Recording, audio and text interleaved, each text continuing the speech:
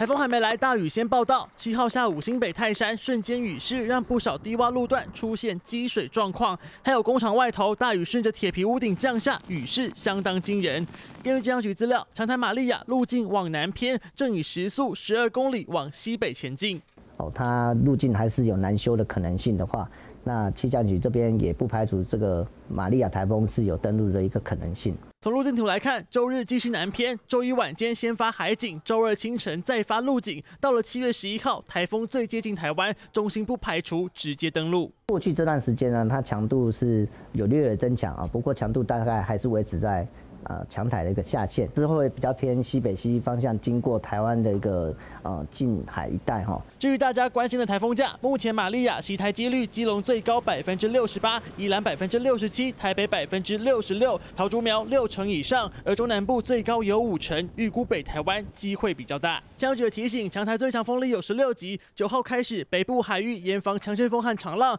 强台来袭，全台民众务必得先做好防台准备。记者郑增宏、军伟台报道。